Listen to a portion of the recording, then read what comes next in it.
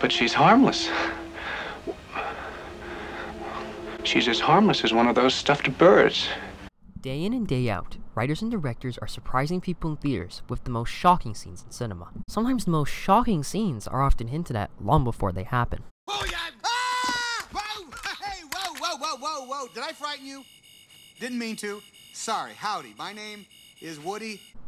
Hi, I'm Garrett. And these are the top 5 uses of foreshadowing in movies. Number 5. Batman Begins. Christopher Nolan's first film in the Dark Knight trilogy depicts Bruce Wayne's coming to be story as his dark alter ego, Batman. Where are you? Here. The ending of the film is not only satisfying, but also heavily foreshadows the next film, The Dark Knight. In the final scene of Batman Begins, Gordon tells Batman that he has a lot of work to do and shows him a very familiar car to us comic book fans. Gordon saying that line foreshadows the future installments to come from within the trilogy, and the car in Gordon shows Batman hints at the future coming of the fan favorite character, the Joker. Number 4. The Avengers. Dr. Banner. Now might be a really good time for you to get angry. That's my secret, Captain. I'm always angry. The successful Joss Whedon superhero flick is the accumulation of five films, where the newly assembled Avengers are put up against the forces of a higher power, led by Loki. The Avengers is a family friendly film with a lot of funny moments throughout, but one scene to note is the Galaga moment.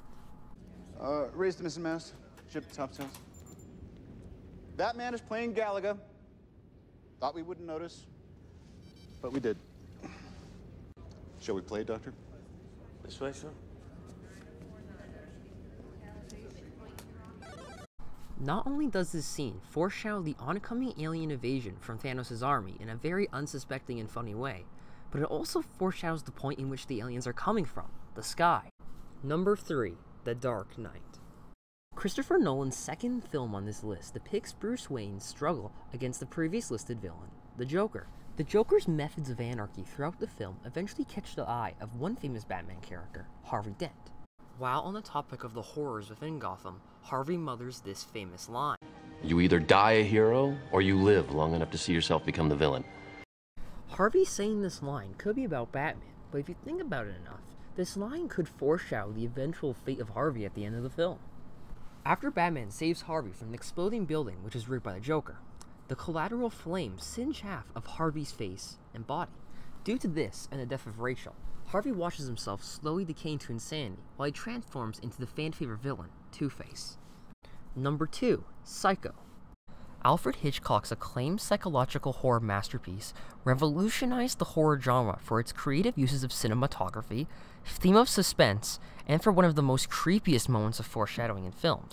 Earlier on in the film, Marion catches a conversation between Norman Bates and his mother. She sees how physically abusive she is towards him, and later tries to confront him. When confronted, Norman says she is in the fret, saying this famous foreshadowing line. But she's harmless. She's as harmless as one of those stuffed birds. What Norman was foreshadowing was the eventual fate of his mother and the twist of the film. Not only had Norman murdered her, but also very much like the stuffed bird he referenced, we are revealed to that Norman also taxidermied her.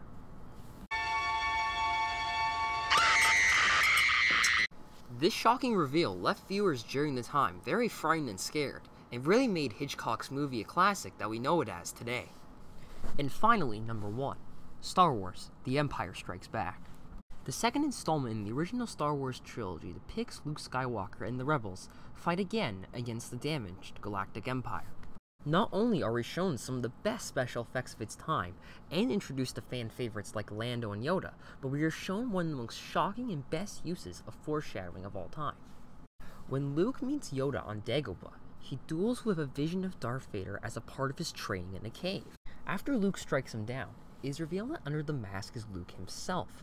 The scene might seem strange at first, but once you get to the conclusion, the scene makes actually a lot more sense. Obi-Wan never told you what happened to your father. He told me enough. He told me you killed him. No. I am your father.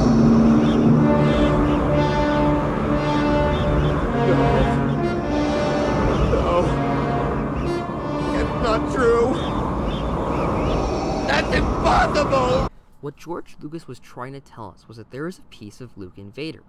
So once we learn that Vader is Luke's son, everything comes more together. It makes that moment earlier on in the film so much more important in such a neat and cool way. So that's my list. What are your favorite instances of foreshadowing in movies? Comment down below and tell us.